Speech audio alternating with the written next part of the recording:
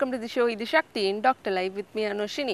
So இன்றைக்கி நாங்கள் பார்க்க போகிற டாபிக் என்ன அப்படின்னு பார்த்தீங்கன்னா பிளாஸ்டிக் சர்ஜரி பற்றி தான் பார்க்க போகிறோம் டாக்டர் லைவ்ல வந்து ஃபர்ஸ்ட் டைம் நாங்கள் பிளாஸ்டிக் சர்ஜரி பற்றி பார்க்க போகிறோம் அதிலே முக்கியமாக பார்த்தீங்கன்னா ஸ்ரீலங்காவை பொறுத்தவரையில் வந்து பதினாலு டாக்டர்ஸ் தான் வந்து பிளாஸ்டிக் சர்ஜன்ஸ் இருக்காங்க. அதுலேயும் தமிழ் பேசக்கூடிய டாக்டர்ஸ் அப்படின்னு பார்த்தீங்கன்னா ரெண்டே ரெண்டு பேர் தான் இருக்காங்க. அதில் ஒரு டாக்டர் தான் இன்னைக்கு வந்திருக்காரு. அண்ட் இந்த டாக்டரில் முக்கியமான ஒரு விஷயம் சொல்லியே ஆகணும் என்ன அப்படின்னு பார்த்தீங்கன்னா ரெண்டு கைகள் துண்டிக்கப்பட்ட ஒரு பேஷண்ட்டுக்கு வந்து அந்த ரெண்டு கைகளையும் பொருத்தி அந்த நியூஸ் வந்து ரொம்பவுமே பரபரப்பாக எல்லா மீடியாலையும் பேசப்பட்ட ஒரு நியூஸாக இருந்தது.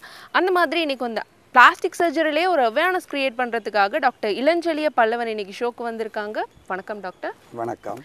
வணக்கம் சக்தினி.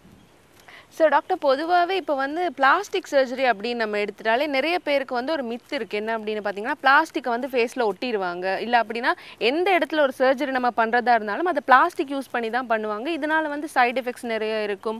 உயிர் ஆபத்துக்கள் எல்லாம் ஏற்படும். அந்த மாதிரி ஒரு மித் வந்து அடிக்கடி இருந்துகிட்டே இருக்குது பிளாஸ்டிக் சர்ஜரி அப்படின்னா என்ன டாக்டர் அதை பற்றி சொல்லுங்கள் நீங்கள் சொன்ன மாதிரி உண்மையிலேயே எல்லாரும் பிளாஸ்டிக் சர்ஜரி செய்தால் சைடு எஃபெக்ட் வந்துடும் கேன்சர் வந்துடும் மைக்கேல் ஜாக்சன் மாதிரி செத்து போயிடுவோம் பயந்து தான் இருக்கிறாங்க. ஆனால் பிளாஸ்டிக் சர்ஜரி என்று சொன்னால் பிளாஸ்டிக் துண்டுகளை வச்சு செய்கிற ஆப்ரேஷன் அல்ல. அது வந்து பிளாஸ்டிக்கோ அந்த பிளாஸ்டிக் என்ற சொல் எப்படி வந்ததுன்னு சொன்னால் இந்த பிளாஸ்டிக்கோ என்று சொல்கிற க்ரீக் வேர்டிலிருந்து வந்தது தான் இந்த பிளாஸ்டிக் சர்ஜரின்றது அந்த பிளாஸ்டிக்கோ என்று சொன்னால் வளைச்சி அல்லது வணைஞ்சி ஒரு ஃபோமை எடுக்கிறது அதைத்தான் சொல்கிறது பிளாஸ்டிக் சர்ஜரி என்று சொல்கிறதே தவிர பிளாஸ்டிக் துண்டுகளை வச்சு செய்கிறது இல்லை. அதால் சைடு எஃபெக்ட் வரும் கேன்சர் வரும் என்று நினைக்கிறதெல்லாம் முற்றுமுழுதாக பொய்யானது. இயற்கையான அவருடைய உடலில் இருக்கிற இளையங்களையே வச்சு அதை மறுசீரமைப்பு செய்து அவருடைய ஸ்ட்ரக்சர் அதாவது அவருடைய அமைப்பை மறுசீமை சீரமைக்கிறதால அவருடைய ஃபங்க்ஷன் அதாவது அவருடைய தொழிற்பாடுகளை செய்ய பண்ணுறதை தான் நாங்கள் கூடுதலாக இந்த பிளாஸ்டிக் சர்ஜரியில் செய்து இருக்கு. ஸோ டாக்டர் இப்போ வந்து நிறைய பேர் வந்து பிளாஸ்டிக் சர்ஜரியை வந்து காஸ்மெட்டிக் சர்ஜரி அப்படின்னு கூட நினைச்சிட்டு இருக்காங்க.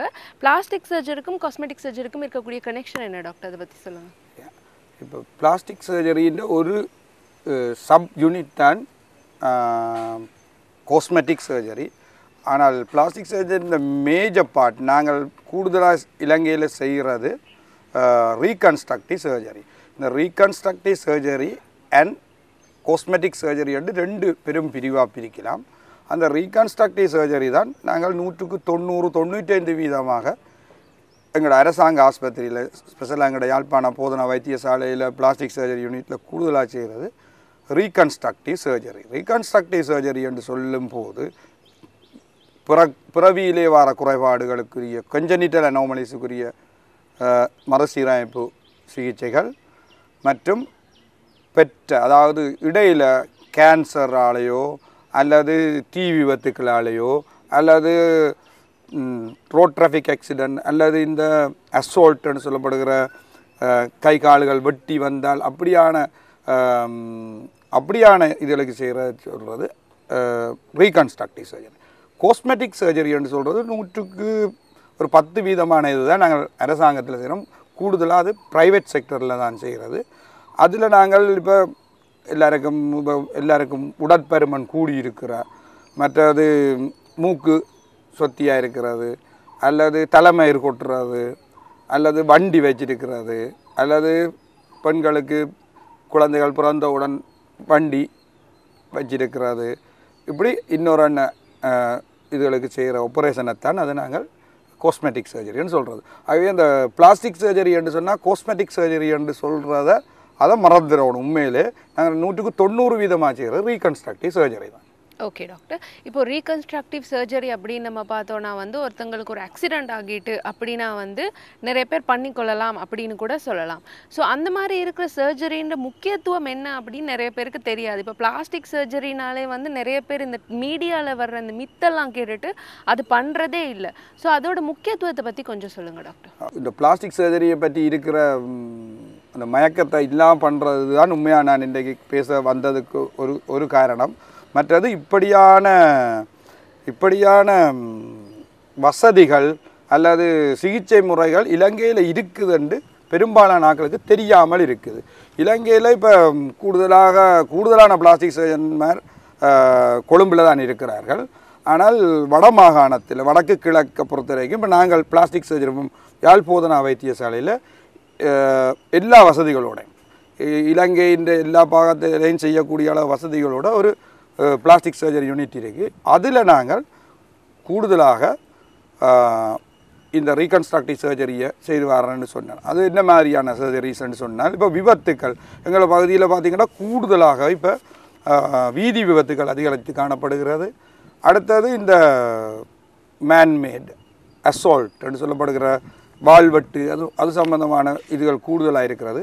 தீ விபத்துக்கள் அது விபத்தாக இருக்கலாம் அல்லது சூசைடல் அப்படி இருக்கலாம். இப்படியான இதுகள் கூடுதலாக இருக்கிறது. இதை இதுகளுக்குரிய சகலவிதமான சகல விதமான சிகிச்சை முறைகளும் நாங்கள் யாழ் போதனா வைத்தியசாலையில் இப்போ வழங்கி வருகிறோம். இது ஃப்ரீயாக தான் நாங்கள் செய்கிறோம். இது இந்த சர்வீஸை பெற்றுக்கொள்கிறதுக்கு நீங்கள் எங்களோட கிளினிக் வந்து டியூஸ்டே அண்ட் தேர்ஸ்டே ரெண்டு மணிக்கு இருக்குது. ஒவ்வொரு செவ்வாயும் வியாழன் ரெண்டு மணிக்கு இருக்குது அந்த கிளினிக்கு வந்ததுன்னா மற்ற அவசர சிகிச்சைக்கு வர தீ விபத்தினாலேயோ அல்லது ஆக்சிடென்ட் பட்டு அல்லது வெட்டுக்காயங்களோட வாராக்களை அந்தந்த நேரமே நாங்கள் அங்கே போய் பார்த்து அதுக்குரிய ஒழுங்குகளை செய்யக்கூடிய வசதி இருக்குது ஓகே ஸோ இப்போ இந்த ஆக்சிடென்ட்ஸ் அப்படின்னு நாங்கள் பார்க்கும்போது டாக்டர் இப்போ இந்த தீ விபத்துக்கள் அப்படின்னு நம்ம எடுத்துட்டோன்னா நிறைய பேர் உடனே ஏதாவது ஒரு தீக்காயம் ஏற்பட்டு உடனே என்ன பண்ணுவாங்க அப்படின்னா டூத் பேஸ்ட் வந்து எடுத்து போட்டுருவாங்க. ஸோ அந்த மாதிரி பண்ணுறதுனால வந்து இருக்கிற அந்த பெயின் கூட ரொம்ப அதிகரிக்கிறதுக்கான சான்சஸ் வந்து இருக்குது அதை பற்றி சொல்லுங்கள் doctor thank you for asking this question அம்மா. நான் இதைத்தான் எனக்கு சொல்கிறது சரியான விருப்பம். இலங்கையிலேயே கூடுதலான தீ விபத்து நடக்கிற இடங்கள் தமிழ் மக்கள் கூடுதலாக வாழ்கிற இடங்கள் தான் அது வடக்கு கிழக்காக இருக்கலாம் அல்லது மலையகமாக இருக்கலாம். இங்கே தான் கூடுதலாக நடக்குது. இது எங்களோட கல்ச்சர்லேயே ஒரு ஒரு இதாக இருக்குது இந்த ட்ராமாக்களை பார்த்து அல்லது தமிழ் சினிமாக்களை பார்த்து இன்னும் எங்களோட ரத்தத்தில் ஊறின மாதிரி வந்துட்டு இந்த தன்னைத்தானே எரிச்சு கொள்கிற அந்த இதுகள் அது ஒரு மிகவும் கொடூரமானதும் கொடுமையான ஒரு விஷயம் எங்கள் இடத்துல நடந்து ஆனால் இதில் முக்கியமாக எந்த பகுதி பாட் நான் சொல்ல வந்த வர விஷயம் என்னென்னு சொன்னால் இந்த தீ விபத்தின் போது உங்களுக்கு தீ விபத்துன்றது ஒவ்வொரு மனிதனாக பிறந்த ஒவ்வொரு மனிதனுக்கும் தனது வாழ்நாளில் ஒரு நாளாவது தீ விபத்து ஏற்படாமல் இருக்காது.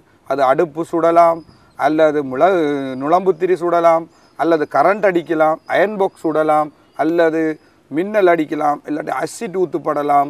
இப்படி ஏதாவது ஒரு விதத்தில் ஒரு மனிதனாவது தீக்காயம் ஏற்படாமல் இருப்பதற்கு சான்ஸே இல்லை. வேறு எதுவும் நடக்காமல் இருக்கலாம். ஆனால் அந்த தீ விபத்தின் போது வழங்கப்படும் முதலுதவி. அந்த முதலுதவியை பொறுத்து தான் அவருடைய அவுட்கம் அமைஞ்சிருக்கும். அந்த அவுட்கம் வாரத்துக்கு நாங்கள் செய்ய வேண்டிய முதலாவது வேலை இப்படி ஏதாவது டூத் பேஸ்ட்டையோ அல்லது இந்த அலோவீராவையோ அல்லது முட்டையையோ அல்லது இப்படியான களிம்புகளை பூசுறதை விடுத்து. ஏனென்றால் தீக்காயம் ஒரு இடத்தில் பட்டவுடன் அந்த இடத்தில் வெப்பம் இருக்கும். வெப்பம் இழக்கப்பட வேண்டுமென்றால் நாங்கள் வெப்பம் இழப்புறதுக்கு நான்கு முறைகள் இருக்கிறது. Conduction convection evaporation and radiation இந்த நாலு முறையாலே வெப்பத்தை இழக்க பண்ணணும் ஆனால் நாங்கள் ஒரு களிம்பை பூசுறதன் மூலம் அதை அப்படியே பொத்தி பிடிக்கிறோம். அப்போ பொத்தி பிடிச்சோம்னா என்ன செய்யும்? அந்த வெப்பம் வெளியில் போகாமல் உள்ளுக்கு அதாவது ஃபஸ்ட் டிகிரி அல்லது செகண்ட் டிகிரி பேர்னாக இருக்க வேண்டியது ஃபுல் திக்னஸ் பேர்னு சொல்ல முற்று முழுதாகவே எரித்து கொண்டு போய்விடும். அதால் அந்த முதலுதவி செய்பவர் பிழையான முதலுதவியை செய்தால் அவர் அவருக்கு தீமை செய்கிறார். அப்படியாக செய்யாமல் செய்ய வேண்டிய முதலுதவி என்ன என்று சொன்னால் ஓடுற தண்ணீர். ஓடுற தண்ணீரில் இருபது நிமிடம் அந்த தீக்காயம் பட்ட இடத்தை அவர் முற்று முழுதாக எரிஞ்சிருந்தால் அவரை முற்று முழுதாக ஓடுற தண்ணீரில் அவரை இருபது நிமிடங்கள் பிடிக்க வேண்டும். ஐஸ் தண்ணி வைக்கக்கூடாது.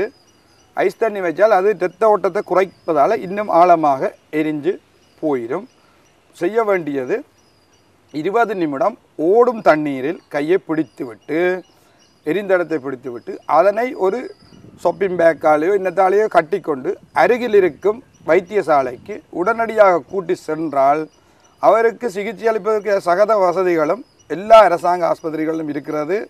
அதற்குரிய சிகிச்சையை நாங்கள் சிறந்த முறை செய்து அவருடைய வாழ்க்கையை அவரை நல்லா வர பண்ணலாம். இப்படி எத்தனையோ பிள்ளைகள் இந்த வாழ்க்கை அநியாயமாக போயிருக்கு. உதாரணத்துக்கு ஒரு ஒரு வயது பொம்பளை பிள்ளை ஒன்றுக்கு இந்த அயனிங் பாக்ஸ் இந்த கன்னத்தின் மட்டத்தில் இருந்து அந்த விளிம்பு பிடி சுட்டு அந்த பிள்ளைக்கு இப்போ இருபத்தொம்பது வயசு. அதுக்கு நடந்த பிரச்சனை என்னென்றால் பக்கத்து வீட்டுக்காரன் சொல்லியிருக்கிறார் இந்த பிள்ளைக்கு டூத் பேஸ்ட்டை பூசுங்கோன்னு. அப்போ அதில் ஃபஸ்ட் எய்டை செய்யாமல் டூத் பேஸ்ட்டை பூசி விட்டதால் அது சூப்பர்ஃபிஷியல் மேலால் தானாகவே ஆற வேண்டிய அந்த புண் இன்று மிகப்பெரிய ஒரு கீலோயிட் ஸ்டா ஸ்காராக இப்படி வந்து அந்த பிள்ளைக்கு இப்போ இருபத்தொம்பது வயசு இப்போ பிளாஸ்டிக் சர்ஜரி செய்கிறதுக்கு பாருகிறான் இன்னுமே அவருக்கு கல்யாணம் நடக்கல. ஆனால் அவர் அந்த முதலுதவியை சரியான முறையில் செய்திருந்தால் அந்த பிள்ளை நேரம் சிறந்த ஒரு குடும்ப தலைவியாக இருப்பதற்கு சான்ஸ் இருக்கிறார் இன்னொரு விஷயம் முக்கியமான விஷயம் முதலுதவி செய்யும் பொழுது செய்ய வேண்டிய முக்கியமான விடயம் முதலுதவி செய்பவருடைய பாதுகாப்பு. சில குடும்பங்களில் நான் பார்க்குறேன் இப்போ யாழ்ப்பாணத்தில் நடக்கிற மிகவும் கொடூரமான விஷயங்கள் கணவனும் மனைவியும் ஒரு சி- சிறிய பிர- பிரச்சனைக்காக தங்களுக்குள் சண்டையிட்டு மனைவி மண்ணெண்ணெயை தன் உடம்பில் ஊற்றி கொளுத்தி கொண்டு நான் எரிக்க போகிறேன் எரிக்க போகிறேன்னு சொல்லுவாள் கணவன் கோவத்தில் நீ எரிச்சு சான்னு சொல்லி விட்ட உடனே அவள் தீய கொளுத்தி விட்ட உடனே அப்போ தான் அவருக்கும் விளங்கும் அவவும் விளங்கி தங்களை காப்பாற்ற வழி கிடைக்கும் இவர் கையால் போய் அடித்து கிடைச்சி காப்பாற்ற வழி கிடைக்கல. அவருக்கு கை முக்கியமான உறுப்பு கை எரிஞ்சு விடும் அவருக்கு எழுபது எண்பது தொண்ணூறு வீதம் எரிஞ்சால் அவ காப்பாற்ற முடியாது. அப்போ ரெண்டு பேரும் ஆஸ்பத்திரிக்கு வருவார்கள். பெரும்பாலும் ஈவன் அமெரிக்காவுக்கு கொண்டு போனாலே அப்படியானாக்களை காப்பாற்றலாம். தொண்ணூறு வீதம் உடம்பில் ஸ்கின் இல்லைன்னா ஒரு இடத்துலையும் காப்பாற்றலாம் அப்போ அவள் ஒரு கிழமையிலையோ ரெண்டு கிழமையிலையோ இறந்து விடுவாள் இவர் தன்னுடைய கை கால்கள் முடமாக்கப்பட்ட நிலையில் குணமாகி ரெண்டு மாதத்துலேயோ மூன்று மாதத்துலேயோ வீடு செல்வார். அப்போ அந்த நாலு ஐந்து பிள்ளைகள் இருக்கிற அந்த குடும்பத்தில் அந்த குடும்பமே சிதைவடைந்து விடும் ஆகவே தயவு செய்து முதலுதவி செய்பவரின் பாதுகாப்பு முக்கியமானது. தீக்காயங்கள் ஏற்பட்டால் ஓடக்கூடாது. அந்த இடத்தில் நின்று ஸ்டாப் ட்ராப் ரோல். இதுதான் செய்ய வேண்டிய தீ விபத்துக்கு உள்ளானவர் செய்ய வேண்டியவர் ஸ்டாப். ஓடக்கூடாது நிற்க வேண்டும். ட்ராப். அந்த நிலத்தில் விழ வேண்டும். ரோல்.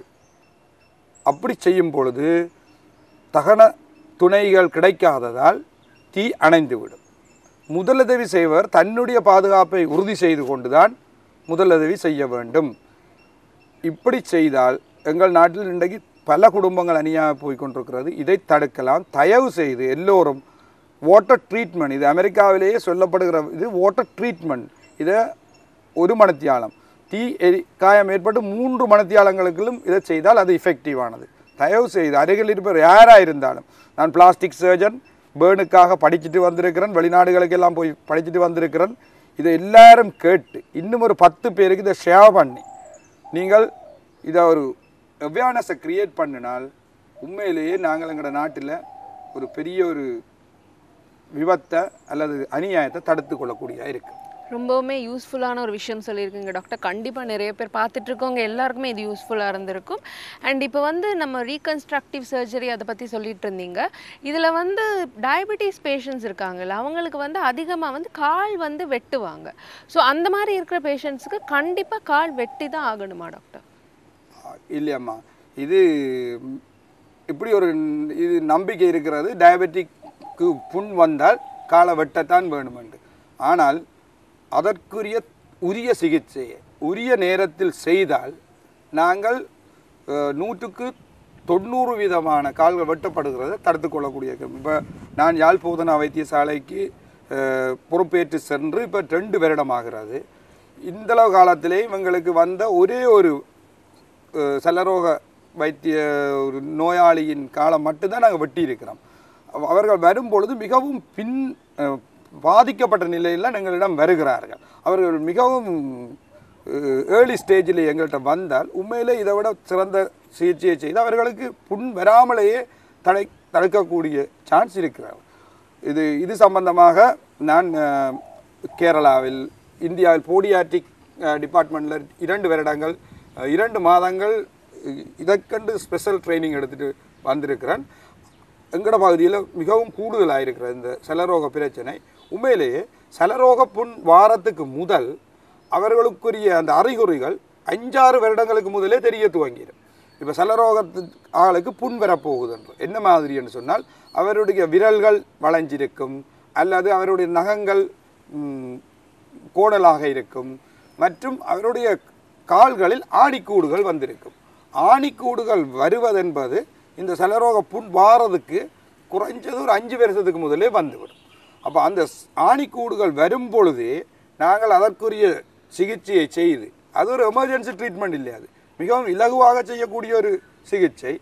அதற்குரிய பாதனைகளையும் வழங்கி அவர்களை சிறந்த முறையில் கண்ட்ரோல் பண்ணி சுகரையும் கண்ட்ரோல் பண்ணி வைத்திருந்தோம்னா அவர்களுக்கு அதை வரவிடாமலே தடுக்கலாம். அப்படி வந்தவர்களையும் நாங்கள் இப்பொழுது ஒரு காலுடன் வருவார்கள் ஒரு காலில் இரண்டு விரல்களுடன் வருவார்கள். அப்படியானவர்களுக்கும் உரிய சிகிச்சையை செய்து அதற்குரிய பிளட் சப்ளையையும் வழங்கி நாங்கள் அந்த கால்களை துண்டிக்கப்படாமல் காப்பாற்றுவதன் மூலம் ஒவ்வொரு காலுக்கு பின்னாலும் இவர்கள் அனைவரும் அந்த வீட்டில் பிரெட் வின்னர்ஸாக இருப்பார்கள். பிரெட் வின்னர்ஸ்னால் அவர் தான் அந்த குடும்பத்தை காப்பாற்றும் தொழிலாளியாக இருப்பார். அவருடைய கால் வெட்டப்பட்டால் அவருடைய மனை அவருடைய வாழ்க்கை அவருடைய மனைவியின் வாழ்க்கை அவருடைய பிள்ளைகளின் படிப்பு அவருடைய குடும்பமே சிதைவடைந்து இப்படி போவதை நாங்கள் தடுத்து வருகிறோம். அதை நாங்கள் செய்வதற்கு இவர்களுக்குரிய விழிப்புணர்வு மிகவும் தேவையான அந்த விழிப்புணர்வுக்கு சக்தி டிவி எடுத்திருக்கின்ற முயற்சிக்கு மிகவும் நன்றி கடனுடையதாக நான் இருக்கிறேன். ஏன்னா பிளாஸ்டிக் சர்ஜரி என்று சொன்னாலே ஒரு மாயையில் இருக்கிறார்கள் கோஸ்மெட்டிக் சர்ஜரி என்று நினை நாங்கள் நூற்றுக்கு தொண்ணூறு வீதம் நான் சொன்னேன். இது இலவசமாக செய்யப்படுகிறது. யாழ் போதனா வைத்தியசாலை பிளாஸ்டிக் சர்ஜரி செய்து வழங்கப்பட்டு கொண்டிருக்கிறது.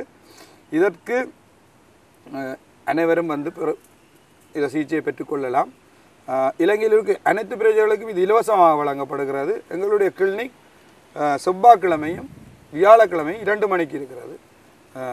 அவர்கள் வந்து இந்த சிகிச்சையை அங்கே பெற்றுக்கொள்ளலாம் பர்ஃபெக்ட் டாக்டர் ஸோ இப்போ வந்து பிளாஸ்டிக் சர்ஜரி அப்படின்னா என்ன அப்படின்ற ஒரு விஷயம் வந்து நிறைய பேருக்கு தெரியாது. அதை பற்றின ஒரு பெரிய ஒரு அவேர்னஸ் தான் டாக்டர் க்ரியேட் பண்ணிகிட்டு இருக்காங்க. தொடர்ந்து நிறைய விஷயங்கள் பேசலாம். இப்போ ஷோவில் ஒரு குட்டி பிரேக்